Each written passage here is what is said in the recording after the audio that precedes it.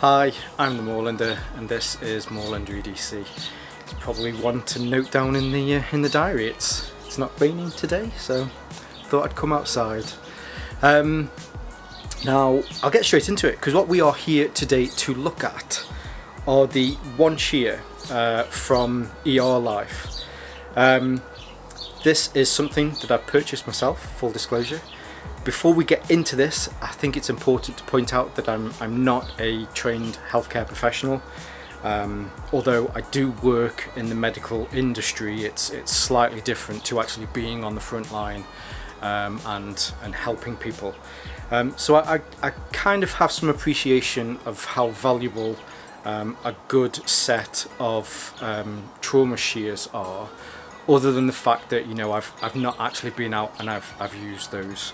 I've used these and I've been testing these a lot more around EDC every single day. If I need to cut something rather than trying to find a knife or something like that to use, then I've been cutting them with these and the feedback that I'm going to give mainly is from everyday use rather than actually being out and helping to save patients' lives. So, having said that, I think it's probably good now. What we'll do is we'll turn the camera around so we can have a little bit of a closer look at these. Also maybe compare them to a few other types of scissors that I've made some contact uh, content on in the past. Um, while I'm turning the camera around, if at any point you, you, you, do enjoy or like this video or even find it a little bit funny then please feel free to hit that like button and subscribe, that would be awesome. But let's have a look at the one shear. Okay, so here are the Extreme One shear, trauma shears. Um, usually do, you know, we'll talk about um, dimensions and stuff like that, although dimensions on this one are actually really, really quite easy in the fact that um, as far as from the, the tip here to the end, it comes in at 203 millimeters. At its widest point here, it's 105 millimeters. Here, at its at its thinnest point, um, just where the the pivot pin is there, um, it comes down to about 100. And, uh, sorry, it comes down to about 15 millimeters. Um, now to compare it, if you you know, I, I, bring this in quite a bit. This is um, my trauma shear uh, scissor holder from um, Tasmanian tiger. So when, when this pushes into them, you can see it, it, it, fits in perfectly. They are a little bit wider here on this section compared to normal trauma shears, which, you know, is, is a good thing. It, it helps with that strength. So they do sit a little bit higher up in one of these if you do have one, um, but they still fit in perfectly. In fact, it's a little bit easier to get them in Actually, let's let's go through, through some some more of the features. Um, the material that this is made from, this is made from high strength steel. Um, the the jaws are diamond coated, and on this bottom side here, whether you can see this or not, these are serrated to to make sure that you know they don't slip uh, when they're when they're being used. The handles are made from a, a fibre reinforced nylon and they are really tough. Um, there's, there's absolutely no give in those whatsoever. Uh, and with a magnet in there you can see that it, it does extend in quite, quite far into those. Here at the bottom where the pivot is, there is a pivot pin that can be undone with a screwdriver so that you can either um, make them so that they're tighter or, or more loose but mainly so that if you want to if these have been used there's a lot of particulates on here that you need to make sure that you can clean off then you can undo this and you can completely take them apart. As far as safety is concerned these are they, they have a flat bottom and then towards the end there is a blunt end to make sure that if, the, if this is pushed under any clothing um, it's not going to uh, cut whatever is underneath there.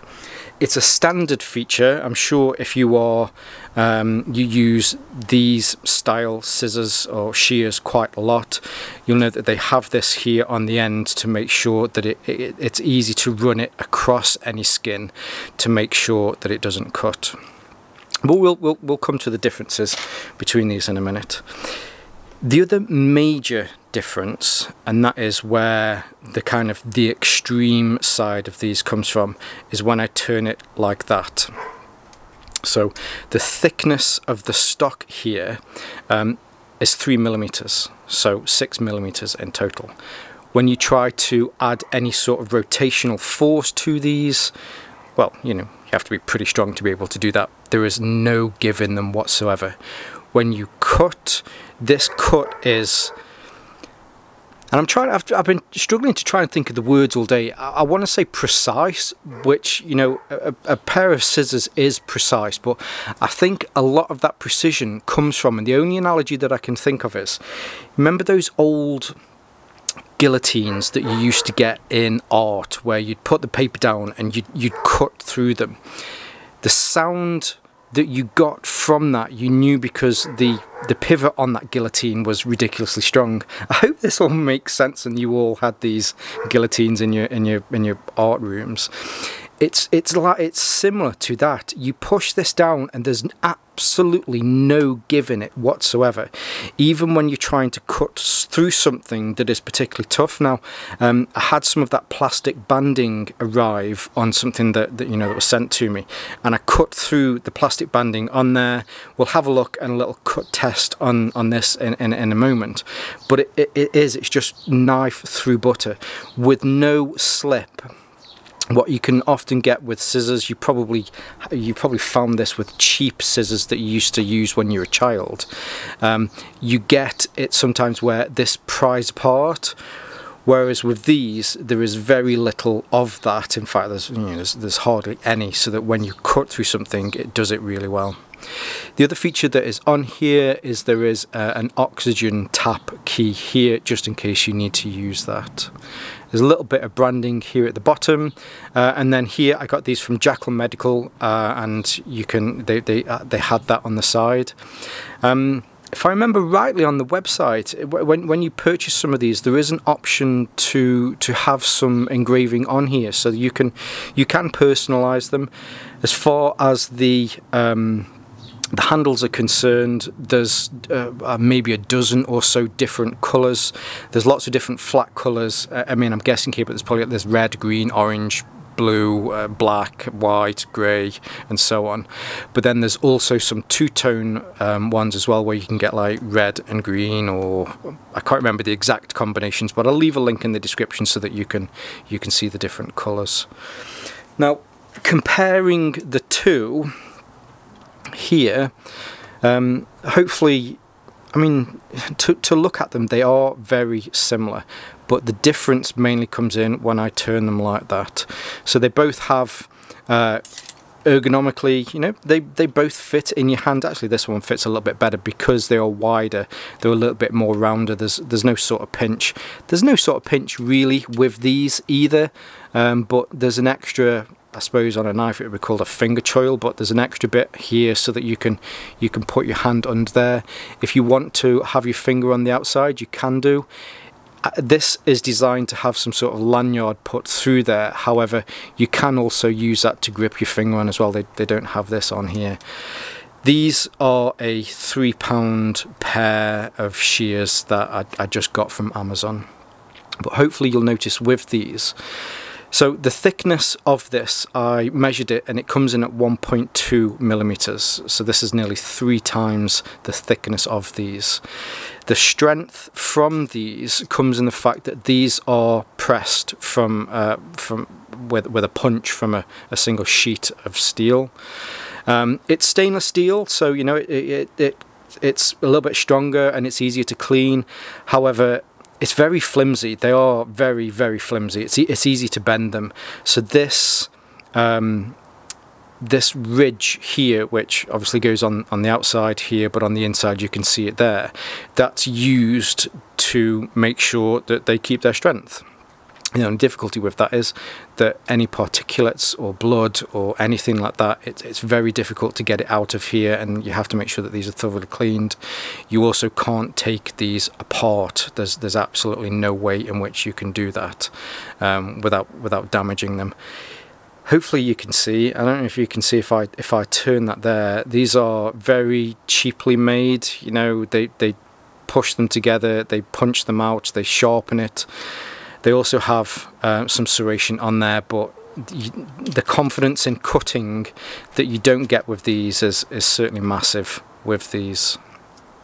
Now just to show you some extra ones, um, and I'm mainly I'm bringing these in purely because if you're thinking about EDC scissors and the advantage with uh, over these is, the quickest and easiest thing to, to, I mean these are all very strong, they are just as thick, um, uh, or maybe these they're, actually slightly thicker. Um, but with these if you look as far as levers are concerned um, here at the ends of your levers and there is the fulcrum and it is roughly in the middle of those levers. So whatever um, pressure you put into that the pressure is exactly the same here.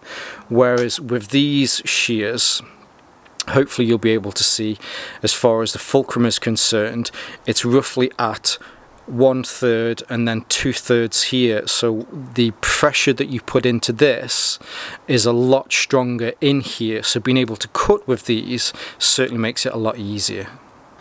And as my wise old nan always used to say you know the proof of the pudding is in the tasting.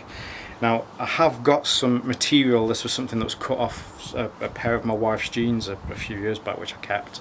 Unfortunately it's black on black so it's a little bit difficult to see but hopefully you can see here are your standard few dollar from Amazon style scissors to be able to cut through this, which is a which is a common practice for um, healthcare professionals if they need to get someone out of the clothes. You know, it it does uh, an admirable job, but when you start to get through where the stitches are, um, you, you you have to go at it a little bit more. That's mainly because you get that rotational factor where the strength of the the actual jaws and the integrity of that strength it starts to wane because um, instead of being able to apply that pressure they, they start to twist and come undone so that the jaws instead of cutting they they slip like that rather than rather than cutting. They do a good job um, but you know it's it's not as strong as maybe something like these. So you know we looked at these. These do a great job. These cut through like a like a warm knife through butter. There's absolutely no issues with these.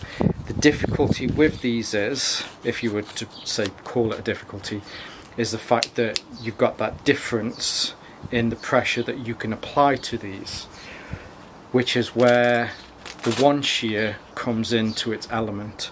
Being able to cut through so this is a this is a double layer, so I have a front and a back, and this is denim.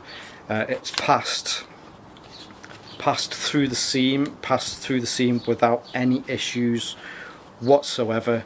Cutting through this, you know, it's it's it's almost as though it's not it's not there. What I've done now is rolled it over and gone against the seam and you, you can see it, it again it just it just cuts through it no issues whatsoever. In fact let's do so let's do let's do four ply and two seams at the end. So through the main denim no issues whatsoever. I get to the end and again no issues whatsoever. It just chews through them and the extra leverage that you get against the fulcrum with these certainly helps you to be able to, to, to be able to cut through those as, as quickly as possible. Now what do I think about the one shear? I think they're great. Um, as I previously mentioned though, you know, I've been testing these out in an EDC capacity. I've been cutting boxes open, I've been cutting paper, you know, all of the normal day-to-day -day stuff. I've tested it on clothing and they cut through clothing like a knife through butter. I think the big difference is the fact that when you compare the two of these it, they, they really are like chalk and cheese. Granted these do a good job, you know, you can cut through things with these, but with the extra precision and strength that you get from these, they're, they're pretty much invaluable. I think if you are uh, an ambulance driver or an EMT or first responder or even if you're in the police, fire service or even the armed forces I think it'd be really useful to, to have something like this that you can rely on constantly um, and not, not have to worry about them. The fact that you can also strip these down as well. Again, you know, I don't know too much about uh, the ins and outs of making sure but you know common sense says if you can strip something apart to be able to clean it then there's less chance of any bacteria or particulates or anything like that being left around. Uh, whereas one of these it's a little bit more of a struggle to be able to do that if you're not um, in the medical profession, these make these make absolutely amazing uh, EDC scissors. Uh, some of the other scissors maybe have a few more features to them, bottle openers, that sort of stuff. But you know, in EDC, we generally tend to have something like that somewhere else. Um, with the extra leverage or leverage that you get with these being able to cut through things is actually a lot easier than you get with some other scissors. Um, and the fact that you can put this into um, one of those slips that you get for these sort of scissors. People in the know when they see these they know that they are not an offensive item just mainly because they're designed to be 100% safe. Um, so if you need to carry something to cut things in a situation where you can't maybe take a knife um, yeah I think these are great um, they also do these, I've just seen on the website, they also do these as a mini version. I think they're either called the mini or the micro version. So what I'll try and do is I'll try and see if I can get my hands on um, that version as well. I'll try and see if I can compare the two and also compare them to some of the other uh, scissors that we've looked at today.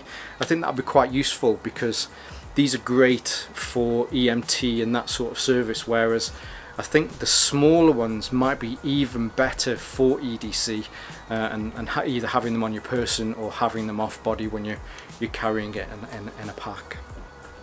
I'll leave some links to this in the description below. Now I'm going to have to double check this. Yes, so Jack Jackal Medical.